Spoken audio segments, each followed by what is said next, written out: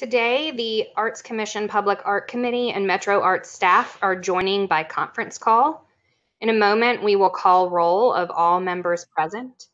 Due to damage to their office, Metro Nashville Network was not able to broadcast this meeting live, but recordings will be distributed following the meeting, and Metro Arts staff will coordinate with MNN to broadcast the recording at a later date if possible. All votes will be made today by roll call. All action items voted on at today's meeting will be reconfirmed at the next in-person meeting of the committee. Now, I encourage all participants on this call to stay muted when not talking and to use the raise hand WebEx function if you would like to speak. Now, if you, like me, were unfamiliar with that feature, here's how it works. At the bottom of your screen, you should see a button with three little dots that says More. If you select More, there is you'll see the option to raise your hand. When you raise your hand, please also unmute your microphone so we can hear you. Once I've called on you and you've spoken, please select the lower hand option. You have to go back through and actually lower your hand. Um, and then remute mute your microphone. I'm gonna give y'all a second to just get familiar with that feature. Because this is how we'll be making um, I, I think I think Paul has a question or needs some. I don't see that feature, sadly. Um, You see the buttons at the bottom of your screen, the mute button. blue, red, red with an X, the three little dots, and I open it up and it says copy event link, audio connection, speaker, microphone, and camera. Okay. Mine also shows up that way, Paul. Um, this is this is from IT.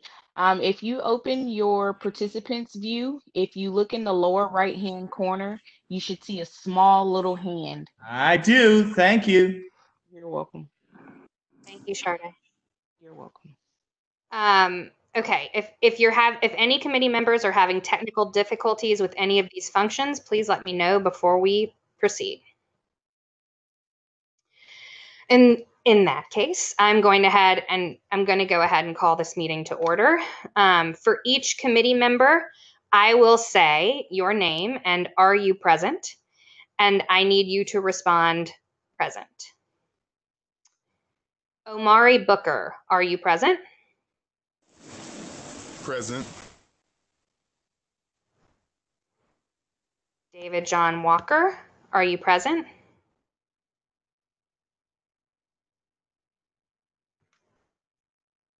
Yes, I'm present. Paul Collins, are you present? Present. And Alejandro, I'm sorry, I don't have your last name in the participant list, but are you present? Yes, I'm present. Is that all of the panelists? Perfect.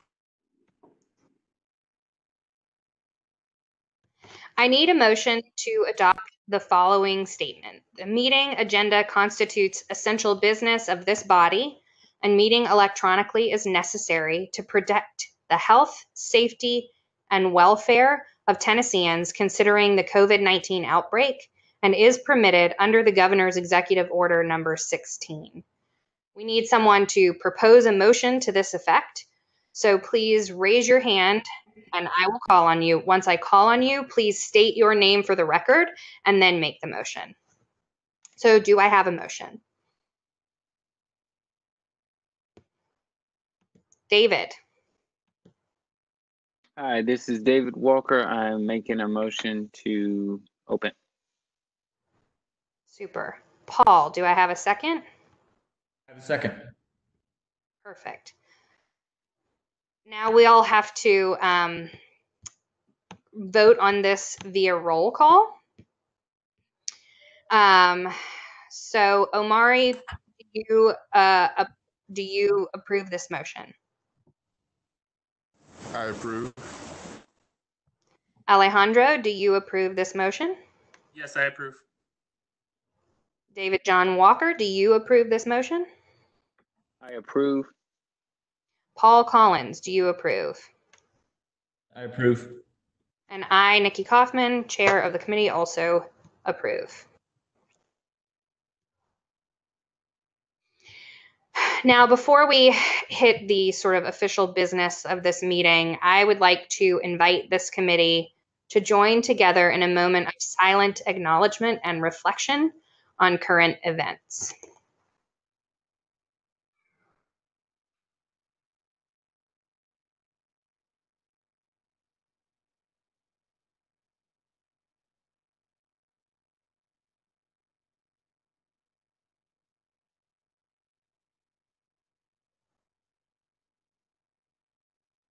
Thank you.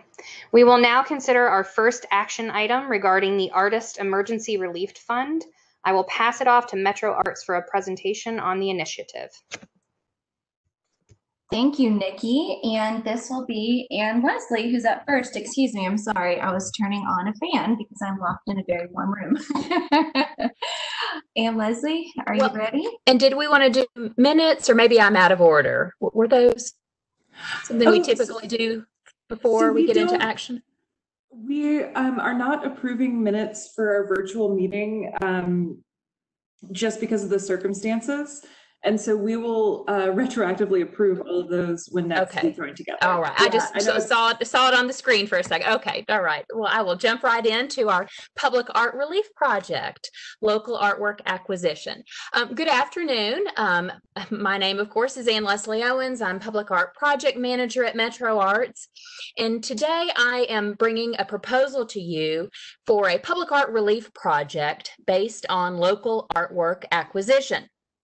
We are bringing this to you today as this project provides a way for Metro Arts to quickly respond to artists impacted by the March 3rd tornado, as well as by the COVID 19 precautions that closed arts businesses and canceled many art exhibits. You may recall that uh, Metro's Arts' local artwork acquisitions make up what we call the Artworks collection. This is our, and do you want to go on to the next um, slide? You may recall that Metro Arts' local artwork acquisitions make up what we call the Artworks collection. This is our collection of 2D and 3D wall hung artworks created by Davidson County artists and installed in Metro buildings. These artworks have been purchased by Metro Arts using Percent for Art funds and are included in the Metro Public Art Collection. This expansion of our collection with wall hung artwork came as a recommendation in the 2017 Public Art Community Investment Plan as a way to diversify the collection, both in terms of artwork, but also artists represented.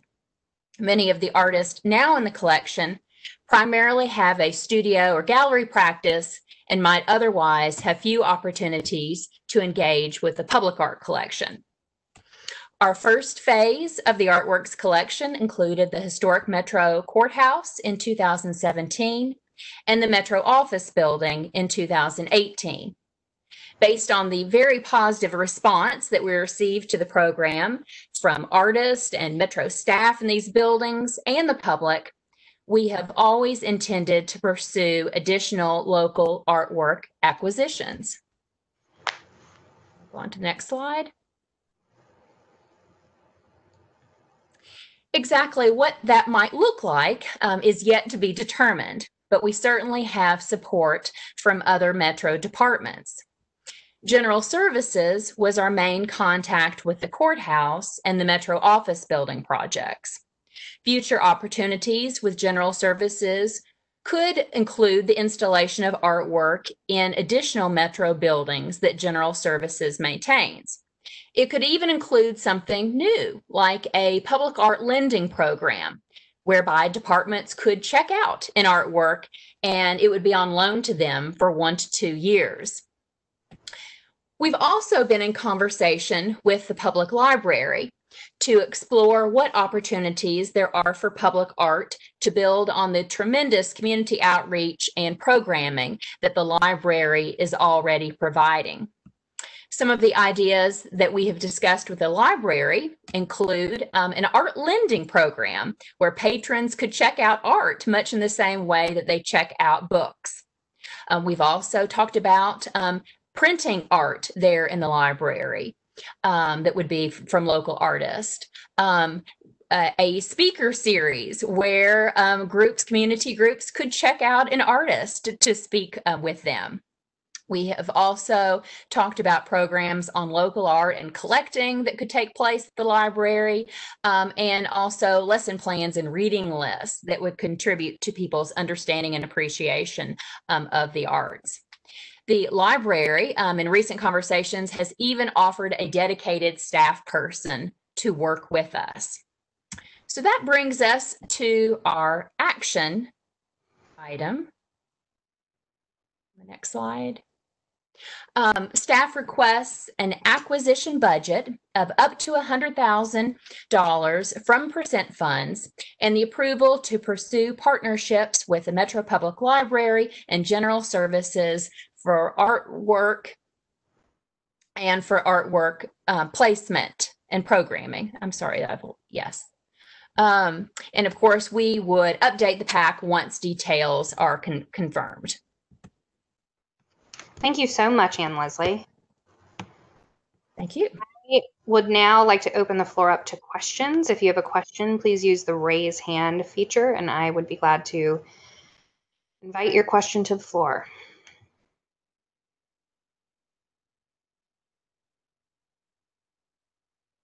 Okay, if there are no questions, I would entertain a motion.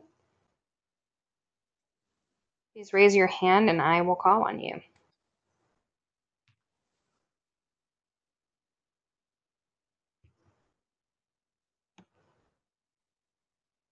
Paul,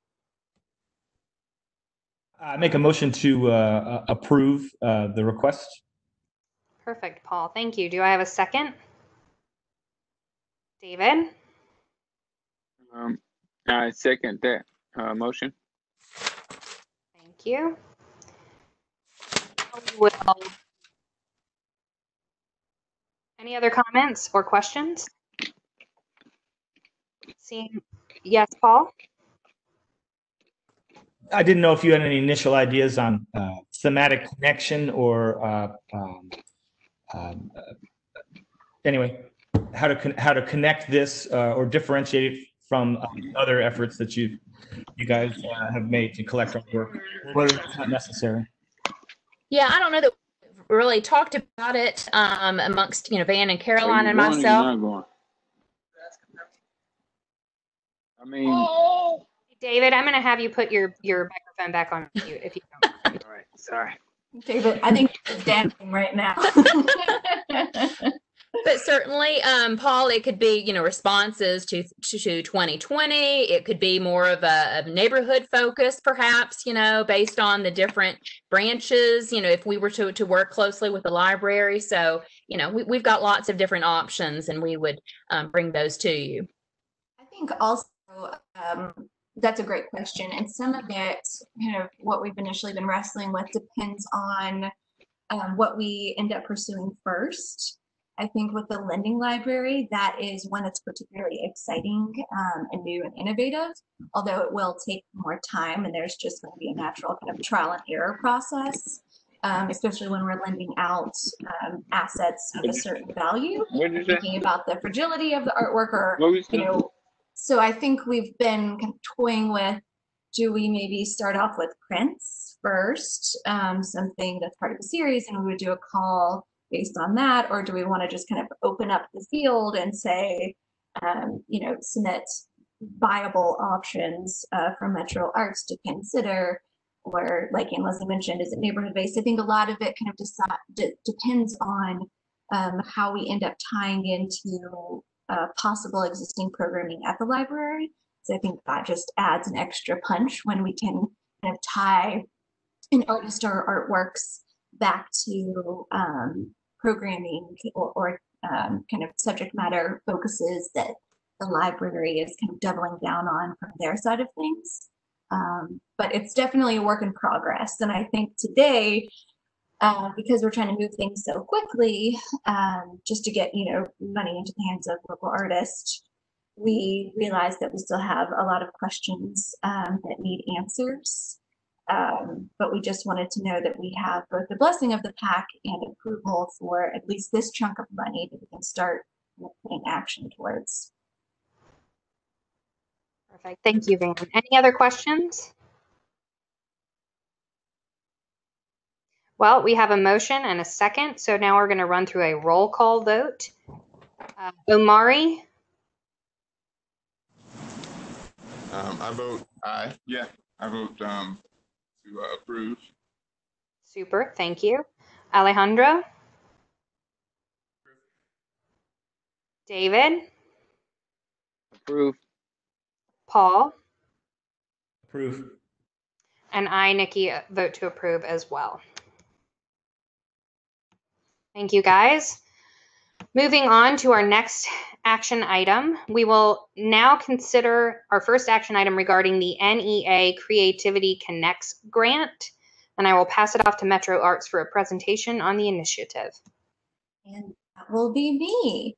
Uh, hello, everybody. Uh, retroactively, I'll introduce myself again. I'm Van Maravalle. I am our public art manager at Metro Arts. Um, and today I'm bringing back some more information and specifics around the um, Creativity Connects grant that Metro Arts received from the NEA, uh, which we applied for in hopes of investing that um, grant award into the Madison community. And if, uh, I guess our newer members will not know that this happened, but our uh, older PAC members uh, may remember that before maternity leave, we had two of our learning lab artists come, or three, excuse me, to the PAC and present uh, present proposals for how they wanted to implement some of their skills um, and tactics they learned during learning lab. And Kristen Chapman uh, Gibbons, who's now Kristen Chapman, uh, proposed in working with this grant and the scope of work um, to implement some of the work um, that we needed done in Madison relating to this particular grant. Um, so for those of you who are new and those of you who couldn't remember what happened in September 2019, if, it, your life depended on it like mine, uh, we'll do a quick recap. The goals of this grant um, and our grant application was to commission an artist or artists to design um, a asset, a community asset mapping project that was going to look at both the um, environmental you know, um, assets that Madison has uh, that need preservation or um, need to be kind of redefined or things that are lacking that um, creatives living and working in Madison feel that they need in order to um, economically thrive there. We're also really interested in learning who is working in Madison um, and how those artists and creatives are working and um, what the desire for future engagement or investment might be um, and really taking the lead of what we hear from those who are working and living in Madison, um, because it is such a large neighborhood community. Um, Metro Arts has kind of always historically struggled to understand who all is there and how we can best use our um, investment to meet Madison specific needs. The award amount that we received from the NEA is 85,000. The uh, Metro Arts is also matching that grant with an additional 85,000 and our match uh, will come from the uh, Matthew Mazzotta Permanent Percent for Public Art project that is also slated for Madison. And you'll hear more about that um, project and how that match is manifesting in uh, the next month or two. As I mentioned before, PAC did approve um, commissioning Kristen Chapman to execute this work um, and to develop it as well. And that was back in September 2019. And this is essential business because our deadline for the grant closeout is very quickly approaching. And we do have to have all of that kind of executed and tidied up by December 2020. Next slide. So, like many individuals and organizations, um, the March tornado and the COVID pandemic uh, momentarily stopped us in our tracks. Our initial plan for this grant was to host a series of workshops um, where Kristen would facilitate interviews and would use some of her storytelling skills to both collect feedback from individuals, but also message that out. Um, because we cannot have public convenience, um, and definitely not any of that size. We did hit the pause button for uh, several weeks, and Chris and I really spent a lot of time reflecting on how we felt like we needed to pivot to respond to our new reality, both uh, addressing the issues with public gatherings, but also recognizing that um, between the tornado and COVID, a lot of those assets that we would be mapping may not exist or may exist in a totally different way. And that there's this feeling of um, helplessness to a degree, how to kind of honor those businesses or public spaces that we're not sure the fate of and how can we both give people kind of a cathartic opportunity to express themselves, but also um, provide artists with economic support, and then still walk away meeting the deliverables of this grant, which is, uh, you know, an environmental survey of the creative assets, both um, buildings, programs, places in Madison. And so with that in mind, we decided that kind of our, our new or adapted goals would be to provide local artists, especially those who are now unemployed, with funding opportunities. How can we support Madison uh, local businesses? And how do we need to now redefine the idea of public space and how we interact with one another?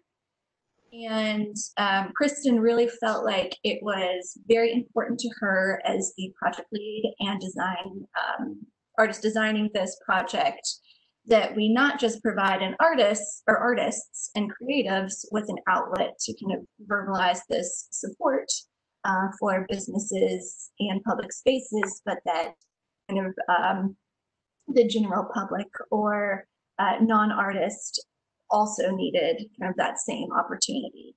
So we have a working title of Love Letters to Madison. I'll admit we don't love love letters to Madison. So if anybody has a brilliant idea or suggestion for a better title, we would be our heroes. So please let me know uh, if you need something to percolate on. That's a good one because Kristen and I, we've got no ideas. So for now, love letters to Madison. And we can go to the next slide. I'll give you some more details about how we are going to achieve those new goals. So basically, we've broken it up into three parts.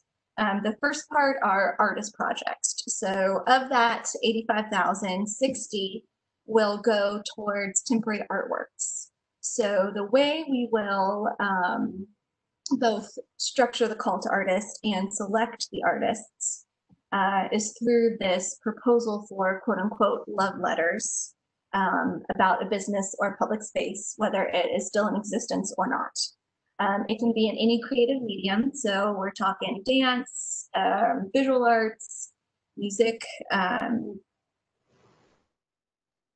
I'm blanking on others, but you understand where I'm going. Uh, before submitting their proposal, applicants must complete a survey about the economic housing and creative space needs in Madison, as well as how they have been affected by COVID and the tornado. Um, and then once we get those submissions, and we imagine that some of these will be kind of a preview to what is uh, likely going to be a, a, larger project. So if it's a song, we don't expect someone to provide us a full composition, but maybe it is um, kind of the first few minutes or a proposal for a choreographed dance as opposed to actually developing um, and executing that for the submission. I think we were um, very cautious of asking people to create something uh, without compensation. So um, we will we will kind of receive those applications knowing that uh, the intention is to scale them to this larger, more public platform. So of the artists that we select, um, they will uh, be stipend for their work and um, it will be structured very similarly to Thrive for those of you who are familiar with that program. We can go to the next slide. So the second part is this public campaign. So um, $7,000 of the budget and um, 12,500, which um, has partially already been spent. Um, Kristen's artist fees up until this point. Um, but we, this is our kind of public call for love letters to Madison via social media campaign. So these will be residents who don't necessarily identify as an artist or aren't engaging in a creative practice. However, they do want to kind of offer or vocalize their love and support for a Madison-based business or public space.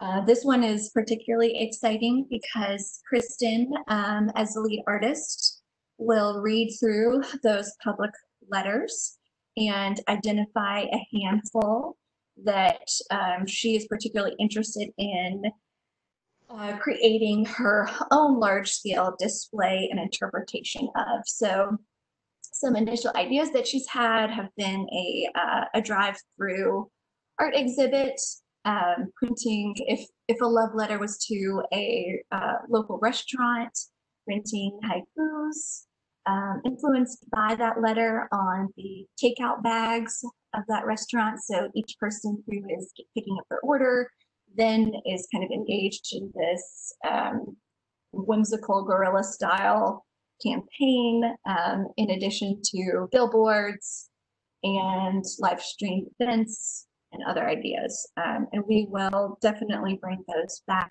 to this body um, once we know what those um, large scale projects may include. And then our third and final bit, which we can go to the next slide. We can advance the slides. Thank you. Um, part three, so it's our policy report. Um, not as glamorous, but definitely uh, super critical. Um, so this budget is 5,500 and we are hoping to work with the art consultants, uh, Todd Bressi and um, Meredith McKinley, who helped us um, create the community, the public art community investment plan back in 2016. So we have reached out to them in hopes that they will help us analyze current land use policies as well as affordable housing and economic conditions for creatives in Madison. Um, they will kind of do this work while we are also collecting these surveys from artists who have applied to the call and they will combine both the policies that they have researched, um, both existing and kind of future policies that exist on a national level that we could implement in Madison and um, combine that, synthesize that with this data survey. Um, and we will put together a full report um, for recommendations about how Metro Arts um, and council um, and even private businesses can make informed and thoughtful investments in the creative vitality of Madison. I know that that was a lot. So if we need to go back to any of the three parts, if folks have questions, I am absolutely happy to do so. We will open the floor for questions. Does anyone have questions for Van?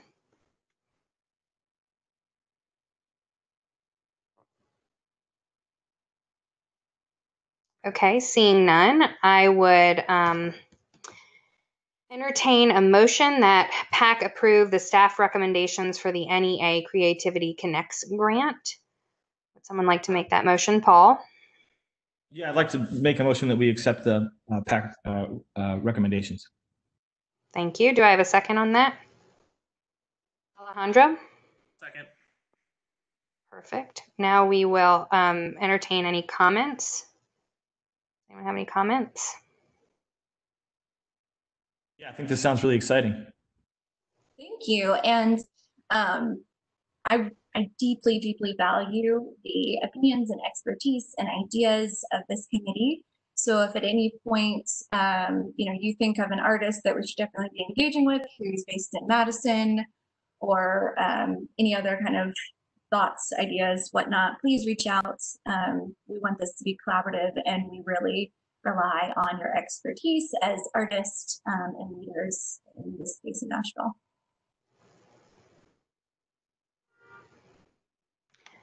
Anyone else? Okay, seeing no further comments, we will um, go ahead and have a roll call vote on approval of the motion. Omari, I approve. Alejandro,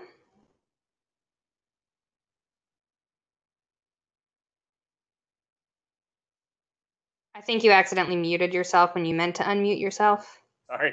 Yes, I approve. Excellent. David, I approve. Paul, and I, Nikki Kaufman, approve as well. Thank you very much. Metro Art staff will now update us on other public art initiatives.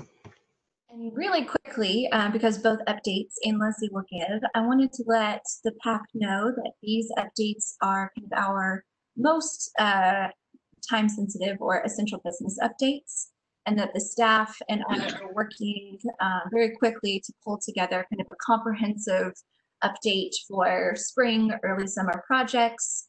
Um, because typically we are able to give kind of more robust updates. I just wanted to let you know that we're pulling together um, kind of a as overview of of what's been happening over the last few months um, since we have not met as regularly due to uh, the strange new world we live in.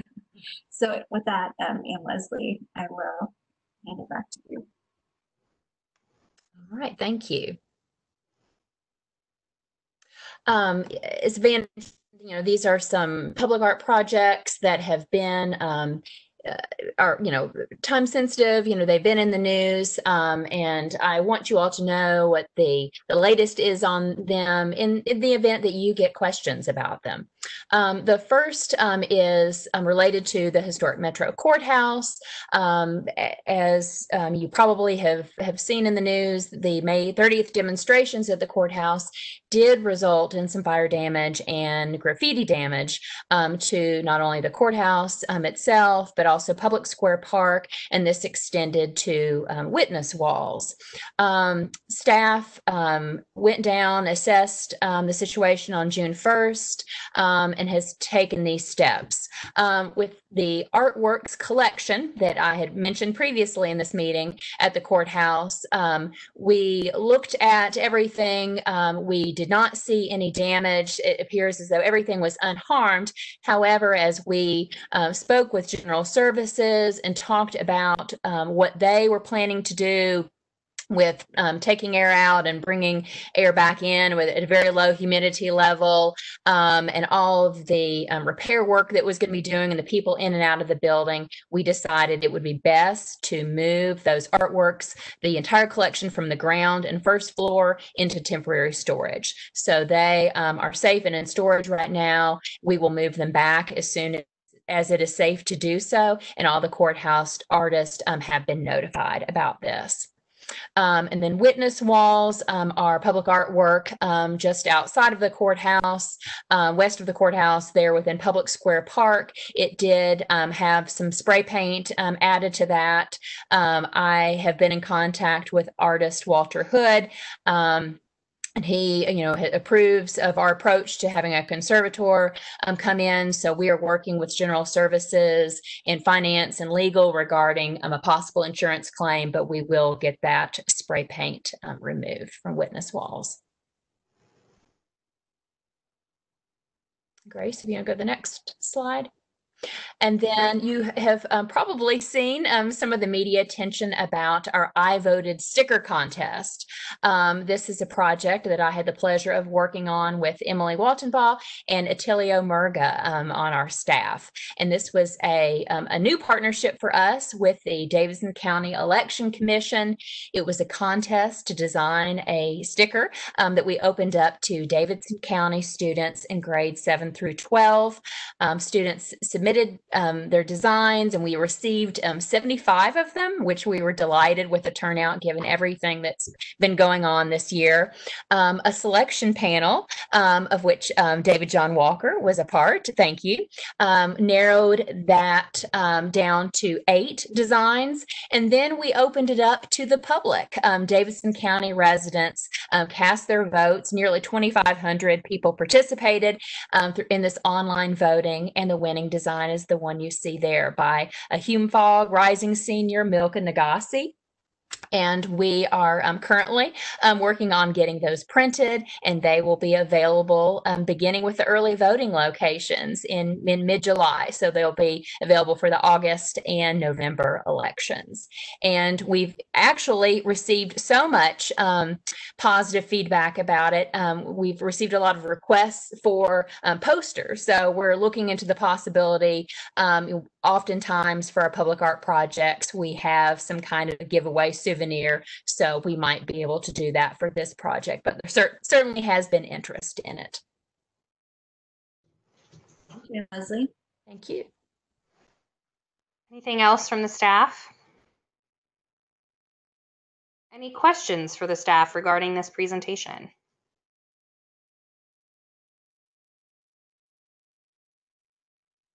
Omari? I would just like to say um, yeah, great work to the to you all that have been in, involved in those different projects during, you know, during the time that we're that we're in. They're all all important and necessary, and um, yeah, I kind of I appreciate the the navigating of conserving things that might be destroyed without um, condemning the people that are doing some destruction that is also necessary. So, so yeah, I appreciate that, and and also that I voted or the we voted just looks looks awesome. Yeah, so great, good work. Thank you, Thank you. Thanks, Omari. And well, Ann Leslie and I did the uh, presentations today. I, I, have to brag on the full public art team um, and just say that they have been so dedicated to continuing to um, make progress and move their projects forward. Um, and Trey and Tilio have, yeah, just um, been fabulous in addition to Ann Leslie. And I think we're all working really hard to kind of pivot and adapt um, to better meet the needs of our community. And I'm just, I'm very, very proud of, um, yeah, the public art team's dedication to moving that forward. So shout out to everybody. I also want to take a second, um, Van, to shout out Grace, who had about Absolutely. 12 seconds of getting to know Metro Arts before COVID and has seamlessly and brilliantly figured out how to manage these online meetings in a way that we all feel prepared and and that we get, have our questions answered and we can move forward with our business. So shout out to Grace. She's, she's the cool operator that makes it all possible behind the scenes. thank you guys. Y'all are too sweet. I'm just supporting your great work. Well, and thank you to our committee members who spent time with us today. We really thank you guys for for for uh, showing up today. Um, and that completes the business of this meeting. And so, without further ado, I adjourn the Public Art Committee meeting.